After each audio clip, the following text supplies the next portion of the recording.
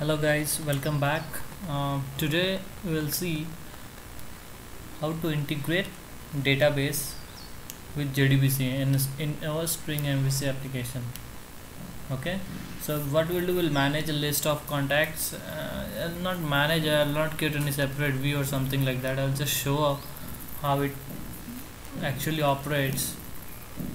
So I will just create uh, insert update and delete statements and just show you how it works okay? So let's come to JDBC so what is JDBC uh, JDBC stands for Java Database Connectivity API it's the industry standard for database independent connectivity between the Java programming language and any other vendor specific database. Okay? So we'll use MySQL in our case. So let's see how, how we'll configure the Spring MVC to work uh, to implement the JDBC so first we'll go to we'll have we'll first need to download our specific jars. If I'm using MySQL I need to have a MySQL connector. If I'm using Oracle I need to have JDBC thin driver or if I am using uh, H2 database I need to have the H2 jar so it depends on the vendor specific what vendor you are using. So I am using MySQL. So I'll just show you I have already added over here but I will just show. So I have added my SQL jars over here. My spring jars are already in the class path. Okay? So just to okay and then we'll go to our web.xml uh, sorry uh, sub dispatcher servlet.xml we are taking the same example that we have used previously the basic setup that we have done okay? So no need to worry about it. So here what we'll do we'll define a data source bean. We need to define the data source bean that comes from the JDBC API okay so here we'll define all the connection properties such as uh, the driver class name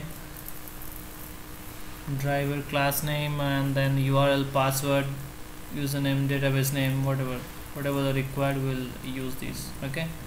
So what is the simple J we are using a JDBC template over here. So the simple JDBC template class wraps the classic JDBC template okay so now what is JDBC template? The JDBC template class is the central class in the JDBC core package of Spring MVC okay it handles all everything related to creation release uh, release of resources.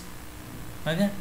As it helps us handling the errors such as closing connection. Suppose if we, in case if we forget to close the connection all those things are handled with JDBC template. So before actually going on to the code I, will, I just I was just uh, simply explaining you the what is JDBC template. Because this this is what we will be using more and more in this example. Okay? So JDBC template executes the SQL sorry ex executes the SQL queries update statements and all the PLSQL procedures everything everything is done by this JDBC template whatever you can imagine in a database. Okay so we have configured our data source and now we will have our contact DAO so we'll create our DAO that I already I have already created over it so this will perform all these four operations okay?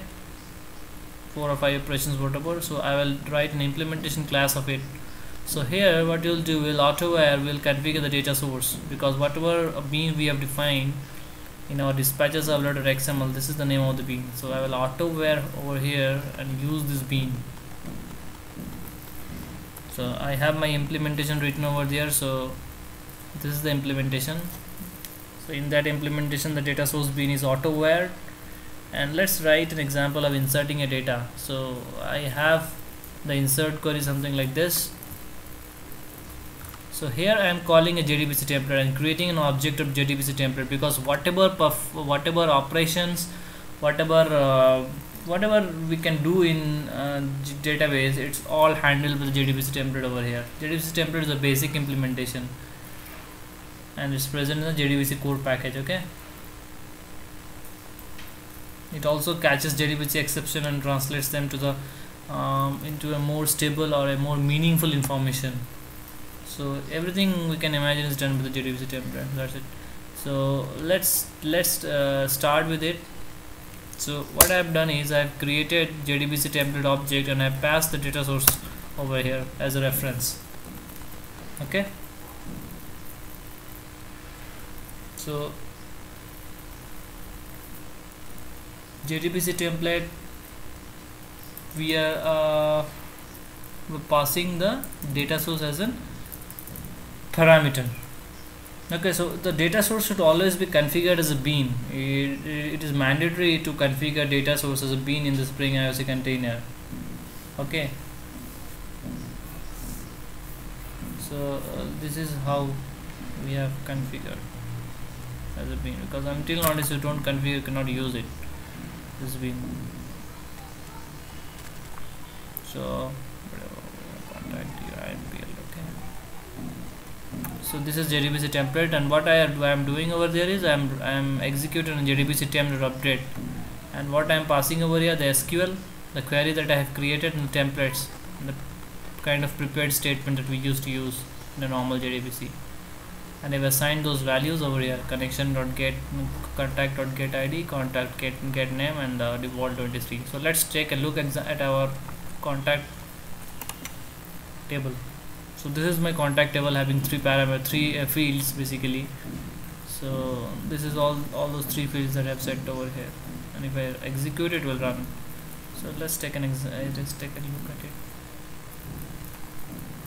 So I'll uncomment everything. Sorry comment everything and uncomment the insert one. So let's take an example. I will insert the record with recorded 12 so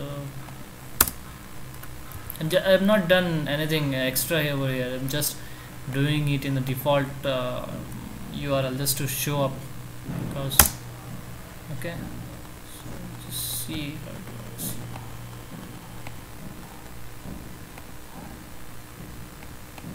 okay so this is how it works. So the same way we can we can create an update statement as well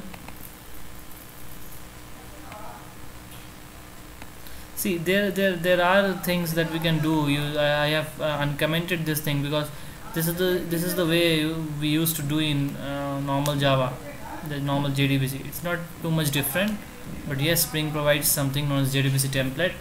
This is the central class that handles everything. So I can on, still now I can still create a query and then create a prepared statement out of it and then uh, uh, create and get the result set but uh, there's a long process that we do basically. So I'll just show you how to uh, get the user list because that's a bit more interesting. So I'm, I need to uh, get the contact list from my database. So what I'll do I'll create a JDBC tab as before we did. And then we are using a new contact row mapper. So what is the concept of a row mapper? Right? So the concept of row, um, row mapper is that we are mapping our contact row contact row mapper okay?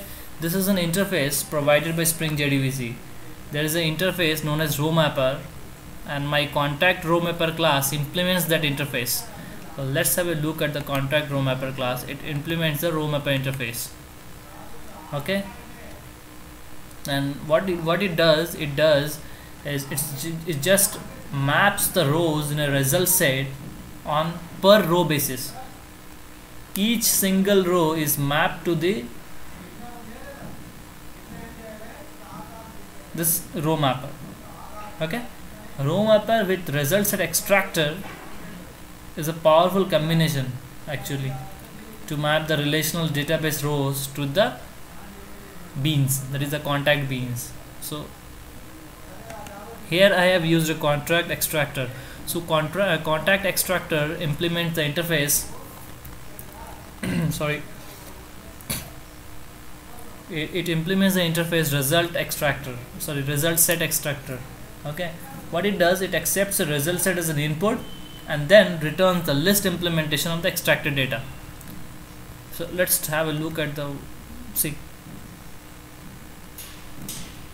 Okay so it takes the parameter as a contact extract data it takes the parameter as result set sorry result set and then it returns the contact bean. And this bean is extracted in the contact row mapper. And this row mapper now is returns this list as a list. Okay so ultimately we, we are storing uh, storing the result as a list see the contact row mapper contact list right? So this is the main main, main scenario. Just have a look at uh, our code. The code that we previously used was a bit hazy one hazier actually. And this this this code looks a bit clear right? So this is how we can get the list over from a database.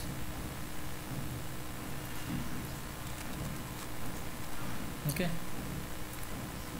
I think that's understandable so overall JDBC template is the ultimate solution here okay? We can do many many many things uh, using this JDBC template. Lots and lots lots of things used. So the same way I'll show you the annotated controller for the getting the list. I will just uncomment it sorry comment it and then I'll show you the list size because we just inserted a list. So the data I am just printing out what what is the size of the list. So this is 3 and it should give the output as a 3 right? So this is what it gives I have not used in standard code but yes I have just used to show you how it works actually. So I have to I have the contact DIMPL bean defined over here. Bean declared over here actually. And the data source. These are two these are two most important things. So if you have database you can use it by using the property configurator you know so you can configure your database properties into some property file and use that property file over here. That also you can do the same way this way. I'll show you in case if it's needed. Please leave your comments over there. I'll just use it. So thank you. Thanks for watching. And and, and, and another and all those operations update is same. Update it doesn't have anything extra. So I've not shown over here. Update and delete are same basically. Okay so I'll upload the update this code once and please leave your comments below